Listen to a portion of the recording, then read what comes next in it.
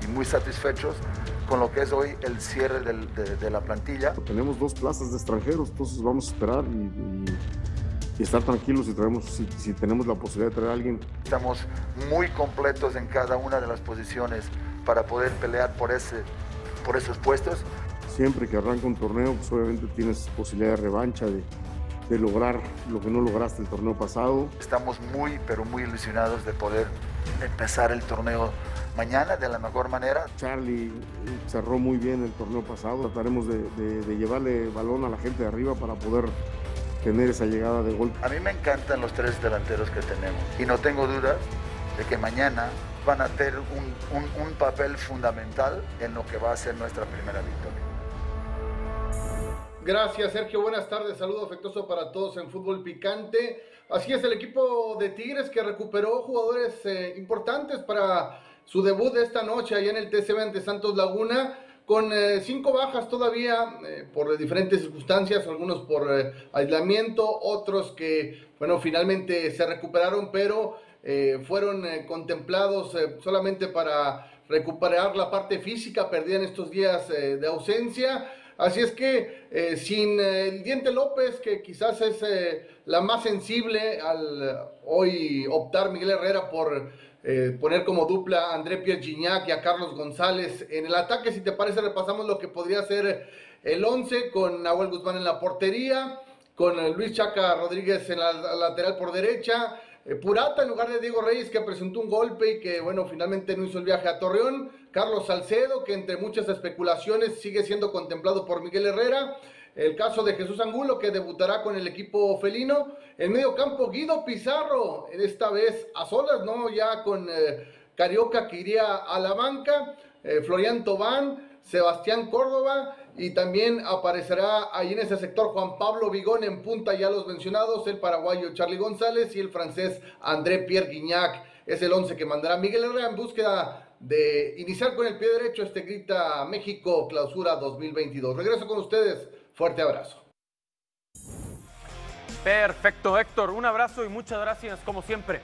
41% de probabilidades de que gane Santos, según el ESPN Football Index en el regreso de Pedro Caixinha a la comarca. Tigres que eliminó con gol de Salcedo en cuartos de final al Santos y después Tigres quedó en el camino contra León en semifinales.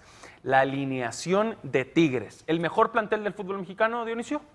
Yo pienso que es el de Monterrey, pero el Rayados de Tigres. 1, Tigres 2. Sí, sí, yo pienso que va por ahí y compitiendo el tema. Ojo, hay que dejar que maduren algunos jugadores porque no lo veo tampoco como que sea un plantel eh, entre los primeros tres lugares para ser candidato al título porque tiene muchos jóvenes. El tema de Cruz Azul que se ha estado reestructurando. Ok, pero entonces, aunque no sea el mejor plantel para ti, es el segundo. ¿Es el máximo favorito al título?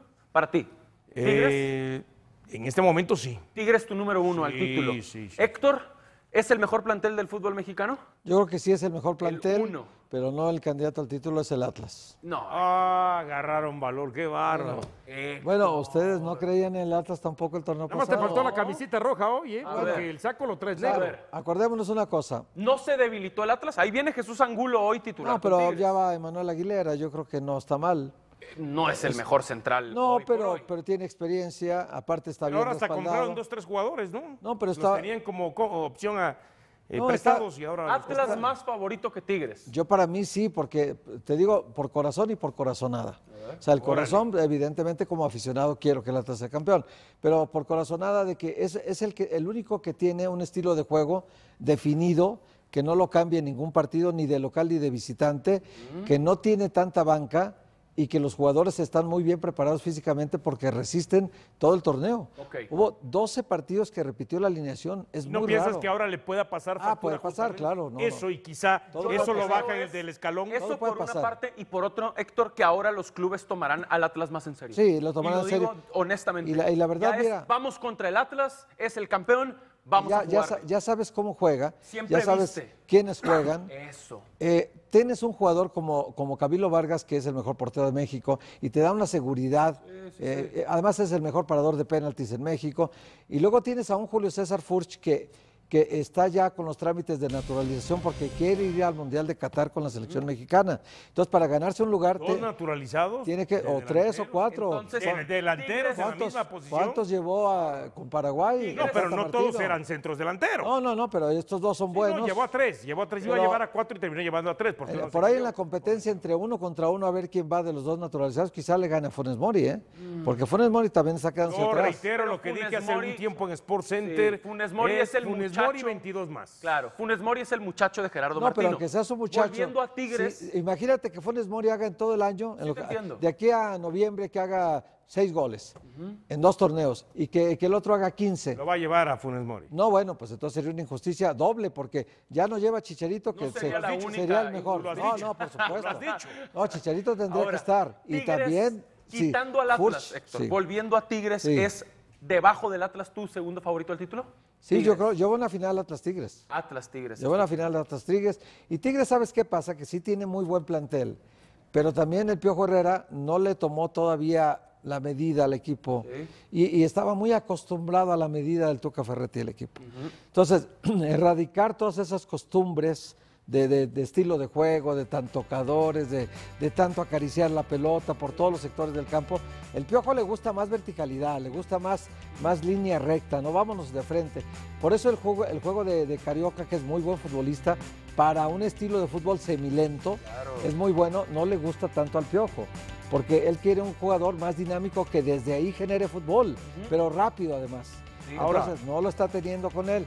Le- Les llega Jesús Angulo, que es muy buen refuerzo, y sobre todo Sebastián Córdoba, ¿eh? porque este equipo tiene poncha adelante, pero no tiene generación de, A eso de- voy. de- de juego. Y aún así fue el mejor anotador del torneo Eso pasado, el equipo. ¿eh? 26, goles 26 a favor goles. de Tigres, la mejor ofensiva. La mejor ofensiva. Llega Córdoba, que seguramente llega con todo el apoyo de Herrera, eso es un hecho, iría a la cancha hoy de titular. Eso voy, qué bueno que y eso es muy interesante. Bueno que Darle tocas ese punto. La confianza, el porque ha habido, no sé, dudas, ¿no? De algún sector de la de los medios, de la prensa, de si Córdoba tiene eh, eh, para pelear eh, una titularidad en Tigres. De entrada la tiene, porque cuenta con el respaldo del técnico y porque el técnico lo conoce. Ahora, La lo de hoy, la tiene. También el talento lo tiene, le falta personalidad y ser constante. Yo diría tiene eso. que trabajar en esos dos Es- aspectos. Falta Ahora, la consistencia. Claro, entonces, ahora, eh, el siguiente punto es, hoy salta a la cancha, ¿por cuál de las bajas que decía Tello que tiene hoy Tigre 5?